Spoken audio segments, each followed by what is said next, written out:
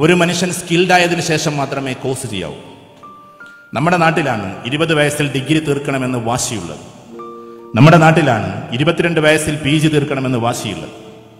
സത്യത്തിൽ നമ്മൾ കാംബോഡ്ജിലും ഓക്സ്ഫോർഡിലും ടെക്സസിലും കാലിഫോർണിയ യൂണിവേഴ്സിറ്റിയിലും യാല യൂണിവേഴ്സിറ്റിയിലും ന്യൂയോർക്ക് യൂണിവേഴ്സിറ്റിയിലും ഒക്കെ പോകുമ്പോൾ നാൽപ്പത്തഞ്ച് വയസ്സുകാരനായ ഡിഗ്രിക്കാരനെ നമ്മൾ കാണും. അൻപത് വയസ്സുള്ള പി ജിക്കാരനെ നമ്മൾ കാണും. കാരണം എക്സ്പീരിയൻസിന് ശേഷമാണ് അവരൊക്കെ സീരിയസ് കോഴ്സുകൾ ചെയ്യാറുള്ളത്. കാരണം ഈ ലോകത്തിൽ അറിവുള്ളവനേക്കാൾ വിലയുള്ളത് കഴിവുള്ളവനാണ്. ആളുകൾ കൂടുന്നിടത്ത് എന്റെ മകൻ ഡോക്ടറാണെന്ന് പറയാൻ നമുക്ക് മോഹമാണ്. ഡോക്ടർ എന്ന് പറയുന്നത് ഞാൻ പഠിച്ചിടത്തോളം നമ്മൾ കരിയറുമായി ബന്ധപ്പെട്ട ഒരുപാട് പ്രോഗ്രാമുകൾക്ക് പോകുന്നതാണ്. ലോക കരിയറിൽ മുപ്പത്തി ആറാം സ്ഥാനത്താണ് ഡോക്ടർ നിൽക്കുന്നത്. ഏതെങ്കിലും ഡോക്ടേഴ്സ് ഉണ്ടെങ്കിൽ ക്ഷമിച്ചേക്കുക. അതിനേക്കാൾ മുകളിലാണ് എത്രയോ പ്രതലങ്ങൾ ഉള്ളത്. പക്ഷെ നമ്മുടെ കേരളത്തിൽ ഒന്നാം സ്ഥാനത്ത് നിൽക്കുന്ന ഡോക്ടേഴ്സ് ഒരിക്കലും ആ ധാരണ നമുക്കുണ്ടാകരുത്. കാരണം ഡോക്ടേഴ്സ് നല്ലതാണ് സേവനം ചെയ്യുന്നു ഉഷാറായിട്ട് നടക്കുന്നു ഒക്കെ ശരി. പക്ഷെ ലോകത്തിൽ അതൊരു എൻഡാണെന്ന് നമ്മൾ വിചാരിക്കരുത്. Aim the sky, you can reach on the top of the tree. If you aim the tree, you can land on the earth. ആകാശ ലക്ഷ്യമാക്കിയാലേ മരത്തിന്റെ മുകളിൽ എത്താൻ പറ്റും. അപ്പൊ മരത്തിന്റെ മുകൾ ലക്ഷ്യമാക്കിയാൽ താഴത്ത് തന്നെ കിടക്കേണ്ടി വരും. ഉന്നതമായ കലാലയങ്ങളിലേക്ക് നമ്മുടെ കുട്ടികൾ. ഇപ്പൊ ഇന്ത്യയിലെ ഏറ്റവും പ്രമാദമായ കുടുംബമുണ്ട്. ഗാന്ധി കുടുംബം നെഹ്റു കുടുംബം പട്ടാൻസ് കുടുംബം ഖാൻ കുടുംബം റെഡ്ഡി കുടുംബം പണ്ഡിറ്റ് കുടുംബം. ഇങ്ങനെ കുറെ ഫാമിലീസ് ഉണ്ട്. ഉത്തരേന്ത്യയിൽ പോയി കഴിഞ്ഞാൽ പ്രതാപികളായ കുടുംബക്കാർ. ആ കുടുംബത്തിലെ മക്കളൊക്കെ ചെറുപ്പം മുതൽ ലക്ഷ്യം വെക്കുന്നത് ലോകത്തിലെ ഏറ്റവും പ്രമാദമായ ക്യാമ്പസുകളിൽ എത്താനാണ്. ഒരിക്കലും ഡോക്ടർ ഡോക്ടറാവാൻ അവർ മോഹിക്കുന്നത്. ഇവൻ സിവിൽ സർവീസുകാരനാകാൻ പോലും അവർ ആഗ്രഹിക്കുന്നില്ല. ഇനി സിവിൽ സർവീസാണ് വലുത് എന്ന് വിചാരിച്ച് നടക്കുന്നുവെങ്കിൽ. കാരണം സ്വപ്നം എന്ന് പറയുന്ന ഒന്ന് റിയാലിറ്റി ആയിരിക്കണം.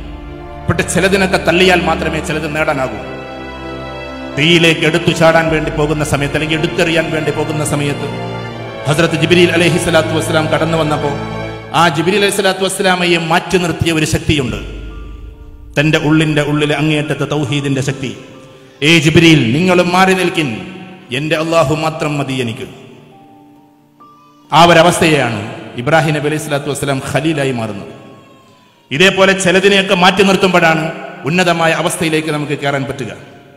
ആ അവസ്ഥയിൽ നമ്മൾ ചിന്തിക്കുമ്പോൾ നമ്മുടെ കുട്ടികൾക്ക് ഈ ലോകത്തിൽ കിട്ടാവുന്ന ഏറ്റവും വലിയ എഡ്യൂക്കേഷനെ കുറിച്ച് നമ്മൾ സ്വപ്നം കാണാവൂ. ഇനി അവിടെ എത്തിയ കുട്ടികളുടെ അവസ്ഥയോ? അവിടെ എത്തിയ കുട്ടികൾക്ക് വേറെ കുറെ സ്വപ്നങ്ങളുമാണ്. ഗ്രാമങ്ങളെ ദത്തെടുക്കൽ. ഞാനൊരു നാലഞ്ച് മാസം മുമ്പ് കാംബ്രിഡ്ജിൽ പോയപ്പോൾ അവിടുത്തെ കുട്ടികളോട് അവിടെ അംബീഷൻ ചോദിച്ചു. എനിക്കൊരു മോഹമാണ്. കാരണം അവിടെയാണ് സർ ഐസക് ന്യൂട്ടൻ പഠിച്ചത്. സർ ഐസക് ന്യൂട്ടനെ നമ്മുടെ കുട്ടികൾ പഠിക്കുന്നു. പക്ഷെ ഐസക് ന്യൂട്ടൻ പഠിച്ചത് അവിടുത്തെ ട്രിനിറ്റി കോളേജിലാണ്. ഇരുപതിലേറെ ക്യാമ്പസുകളാണ് കാംബ്രിഡ്ജിലുള്ളത്. അതിലേറ്റവും പ്രമാദമായ ക്യാമ്പസാണ് ട്രിനിറ്റി. അവിടെയാണ് സർ ഐസക് ന്യൂട്ടൻ പഠിച്ചത്. ഐസക് ന്യൂട്ടന്റെ ഫോട്ടോയാണ് അവിടുത്തെ ലൈബ്രറിയിലെ ആദ്യത്തെ ഫോട്ടോ. അപ്പൊ ഞാൻ ആ കുട്ടികളോട് ചോദിച്ചു നിങ്ങൾക്ക് എന്താണ് ആഗ്രഹം? പല കുട്ടികൾക്കും ആഗ്രഹം സോഷ്യൽ റിഫോമേഴ്സ് ആവലാണ്. സോഷ്യൽ ലീഡർ ആവലാണ്. അല്ലാതെ ഡോക്ടർ ആകലല്ല എഞ്ചിനീയർ ആകലല്ല. സമൂഹത്തിന് ഏറ്റവും ഉയരങ്ങളിലേക്ക് കൊണ്ടുപോകുന്ന ഒരു ലീഡർ ആകാനാണ് അതിൽ ഒട്ടുമിക്ക ഞാൻ ചോദിച്ച പെൺകുട്ടികളായാലും ആൺകുട്ടികളായാലും എല്ലാവരുടെയും ആഗ്രഹം അത്.